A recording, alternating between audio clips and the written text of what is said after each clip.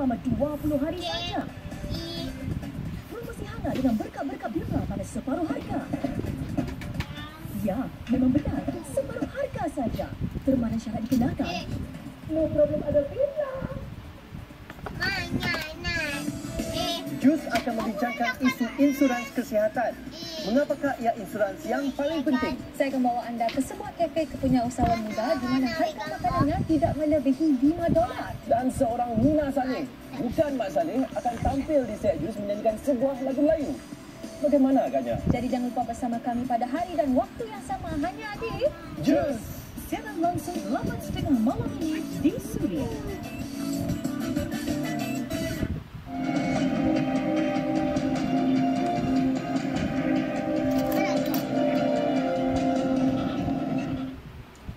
Bertemu kembali.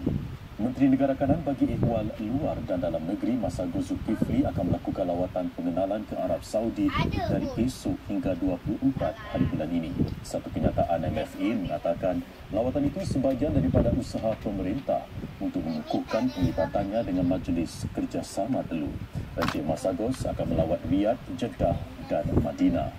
Beliau akan menemui para pemimpin Saudi di samping menemui rakyat Singapura yang bekerja dan belajar di negara itu. Mantan Perdana Menteri Malaysia Tun Dr. Mahathir Mohamad hari ini dimasukkan ke Institut Jantung Negara akibat jangkitan dada. Dari pejabatnya, Dr. Mahathir telah disahkan mempunyai jangkitan dada dan kini sedang menjalani rawatan serta fisioterapi. Pasukan perubatan sedang memantau keadaan beliau dan berpuas hati dengan kemajuannya. Dr. Mahathir, 88 tahun, dijangka berada di Institut Jantung Negara untuk beberapa hari lagi bagi membolehkan pasukan perubatan memantau perkembangan lanjut beliau. Kesemua 44 penumpang dan 6 anak kapal terbunuh dalam naas pesawat di Kazan, tengah Rusia. Pesawat Boeing 737 Tatanstan Airlines itu terhempas ketika cuba mendarat di lapangan terbang Kazan. Ia berlaku sejam selepas pesawat berlepas dari lapangan terbang Domodedovo, Moskow. Juruterbang bertindak menangguhkan pendaratan pertamanya dan cuba melakukan pendaratan kedua sebelum ia terhempas dan meletup. Belum dapat dipastikan mengapa pesawat itu gagal mendarat dalam cubaan pertamanya.